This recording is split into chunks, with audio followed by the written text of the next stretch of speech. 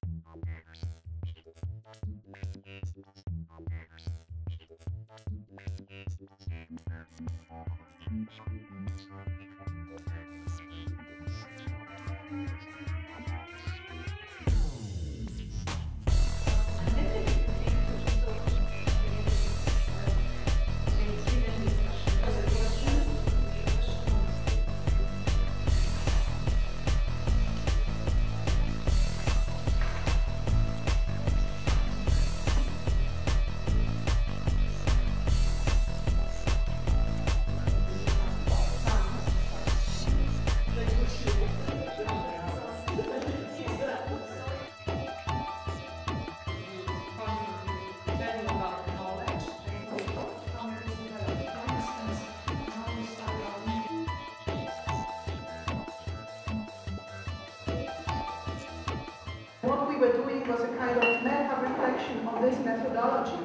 And we were trying to, uh, to answer for ourselves and for the others what is real, what is true, what is neutral, what are our questions, um, opinions, assumptions, um, conclusions, and deconstructions on those questions and, and answers to those questions.